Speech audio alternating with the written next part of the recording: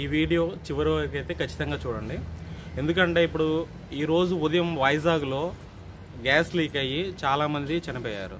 ఆ వీడియో మనం చూసినప్పుడు ఆ లైవ్లో వాళ్ళు న్యూస్ ఛానల్ చూపించిన వీడియో ఎవరు చూసినా కూడా నేనైతే కన్నీళ్ళు అయితే ఆపుకోలేకపోయాను ఏడ్చేసాను కూడా. ఎందుకంటే వాళ్ళు ఎందుకు చనిపోతున్నారో తెలియదు. అసలు వాళ్ళు ఎక్కడికి పోవాలో తెలియదు.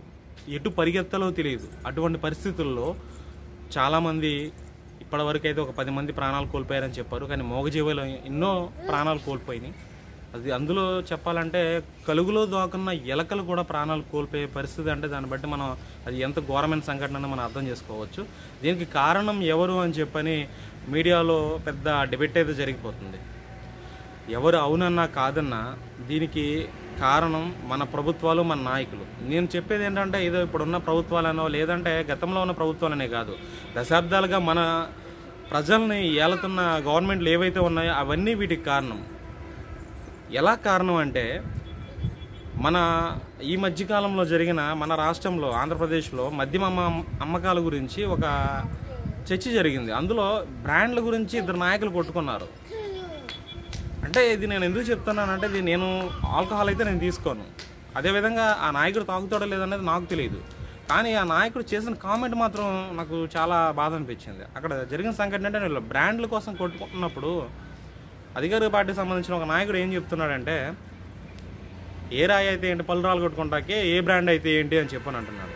కానీ ఇక్కడ ఆ నాయకుడు ఒకటి గుర్తు పెట్టుకోవాల్సిన విషయం ఏంటంటే గుర్తు పెట్టుకోవాల్సిన విషయం ఏంటంటే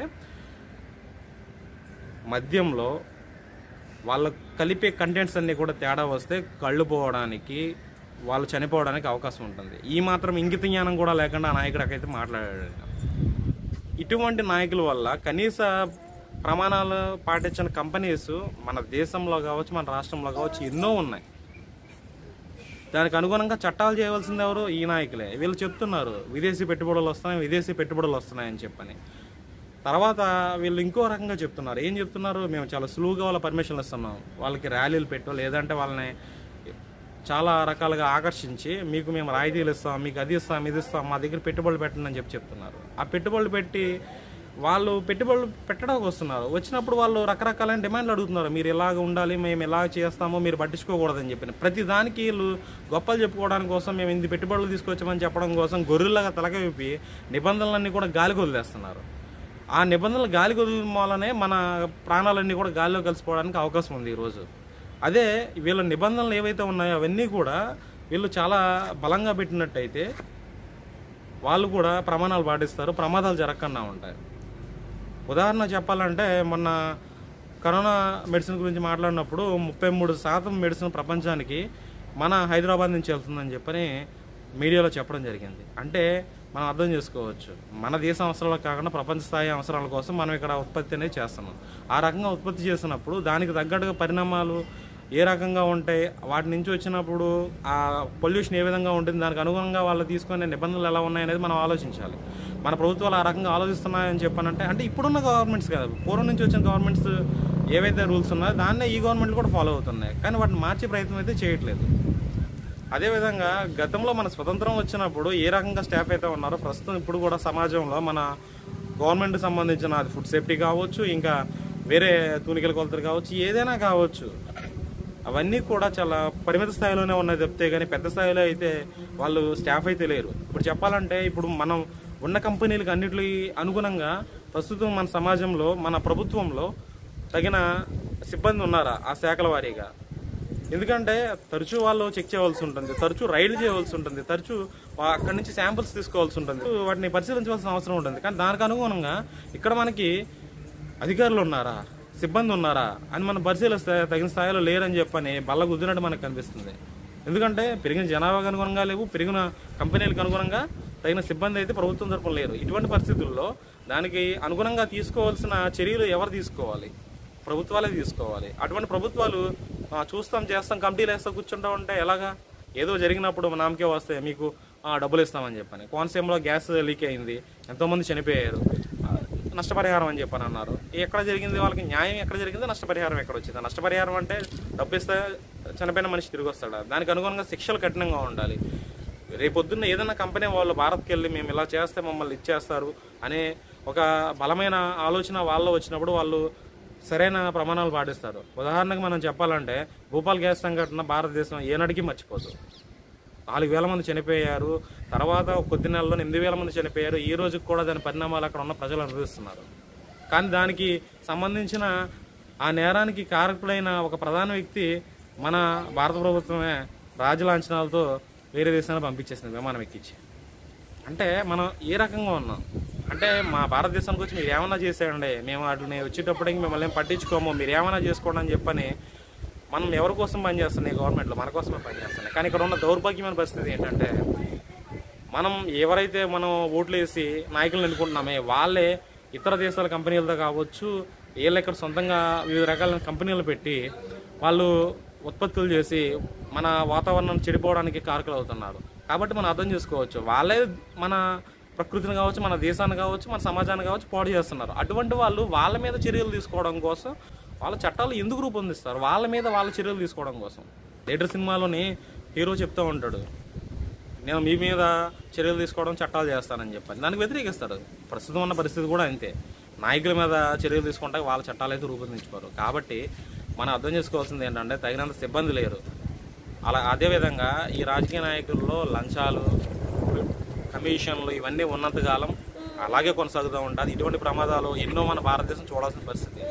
ఇప్పటికైనా మన సర్కారులు అది కేంద్రం కావచ్చు రాష్ట్రం కావచ్చు ఏదైనా కావచ్చు దానికి అనుగుణంగా చర్యలు తీసుకుంటారా అని చెప్పని అనుకుంటే నేనైతే చాలా నమ్మకంగా చెప్తున్నాను. ఆ విధంగా అయితే చర్యలు అనేవి తీసుకోవడం జరగదు.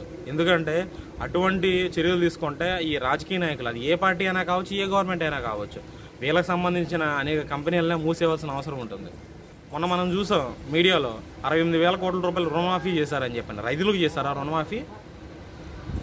పోనీ వాళ్ళకి ఆస్తులు లేవా? ఏ వాళ్ళ ఆస్తులు ఏమైనా జప్తు చేశారా? ఏమీ చేయలేదు. వాళ్ళ ఆస్తులు వాళ్ళకు ఉన్నాయి. కానీ వేల వేల కోట్లు బ్యాంకులకు ఎగ్గొట్టారు. వాళ్ళనైనా శిక్షిస్తున్నారా? అటువంటివి ఇంకా జరుగుతూనే ఉంటాయి. ఎందుకంటే వాళ్ళని శిక్షిస్తారన్న భయం వాళ్ళకి లేదు. ఒకడు లండన్ పారిపోయాడు. ఇక్కడ భారతదేశంలో బోర్డు మంది తిరుగుతున్నారు అటువంటి వాళ్ళు. కానీ ఒక పేద రైతు కట్టకపోతే తీసుకెళ్ళి పడేస్తారు.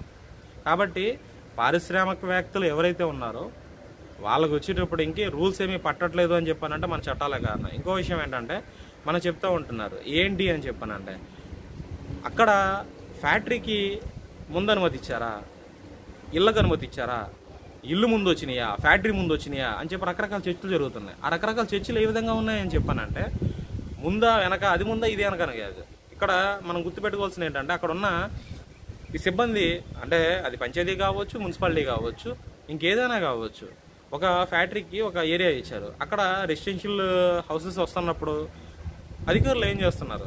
గాడులు కాస్తున్నారా? అధికారులు ఏం చేస్తున్నారు? అక్కడ ఇది రెసిడెన్షియల్ ఏరియా కాదు.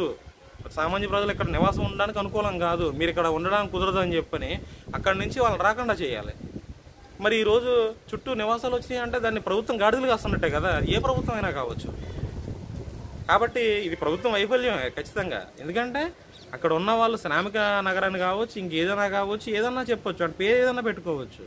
కానీ అక్కడ ప్రజలు ఉంటారు. ప్రజలు ఉన్నప్పుడు అది కుటుంబాలతో వచ్చి ఉన్నప్పుడు అది ఒక ప్రమాదం జరిగినప్పుడు ఇబ్బంది అని తెలిసినప్పుడు దానికి అనుమతులు ఏ రకంగా ఇచ్చారు? సరే అక్కడ ఇల్లు ఉన్నాయి. మరి మీరు పరిశ్రమకి ఏ విధంగా అనుమతులు ఇచ్చారు? అక్కడ ఇల్లు ఉన్నప్పుడు పరిశ్రమలకి అనుమతి ఇవ్వకూడదు. కానీ అక్కడ పరిశ్రమకి అనుమతి ఇచ్చింది ప్రభుత్వమే. ఇల్లుకి అనుమతి ఇచ్చింది ప్రభుత్వమే. అది ఏ ప్రభుత్వం అయినా కావచ్చు. ఆ గవర్నమెంట్ ఈ గవర్నమెంట్ అని కాదు.